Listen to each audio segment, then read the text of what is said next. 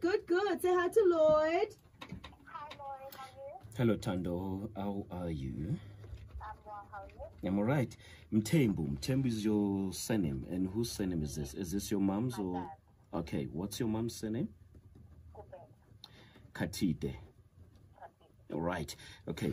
Tando, quickly, um, I see you have um, lower back pains, right? Um, um, you get itchy um, ezindlebeni, your ears, and and and kuba khona one ear that um, partially closes and opens, right? um, makes um, some sounds, uh, whether it's like wind, chilly wind blowing, or like sound.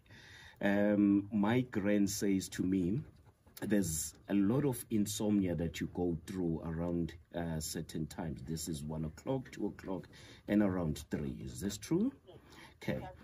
Okay. I see that you get cramps uh, in one of your leg and a numbness in one of your leg. Is this true? Right.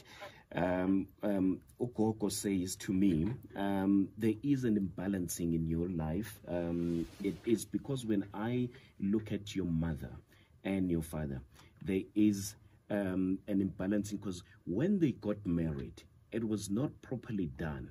So what happens is you notice um, your parents would want to do something like maybe um, to develop a house. And when I say to develop a house, I'm not really talking about double story houses, but uh, a simple painting of the house and um, anything that um, indicates um, change or, or development.